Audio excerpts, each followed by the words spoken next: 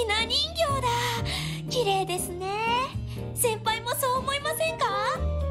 ですよね。すごく豪華だし憧れちゃいます。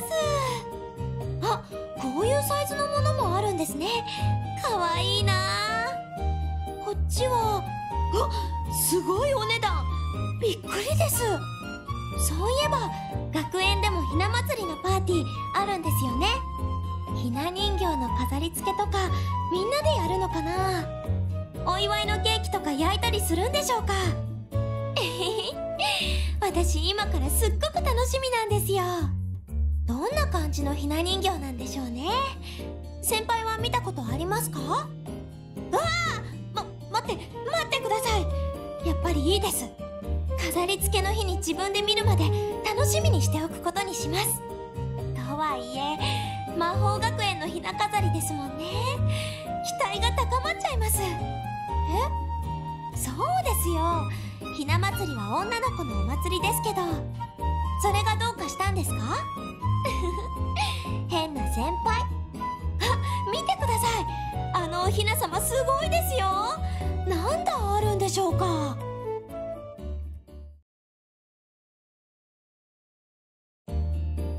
えへへすみません。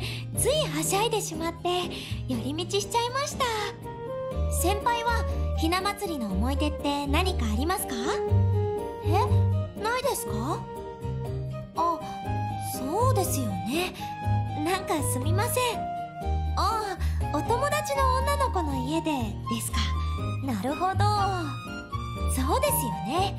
別に学校もお休みじゃないし姉妹がいないと。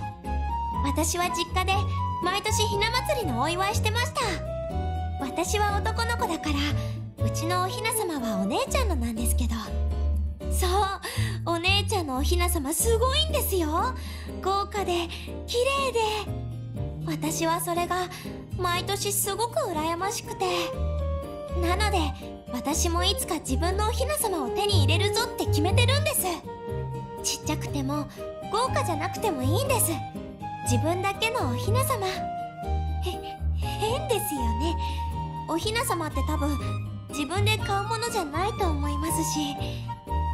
お本当ですか？よよかった。先輩に笑われちゃったらどうしようかと思って安心しました。そうだ。そしたら私が一人前の魔法少女になった時に買うことにしますね。いい考えだと思いませんか先輩？一人前かどうかの判定は先輩にしてもらうっていうのはどうでしょう？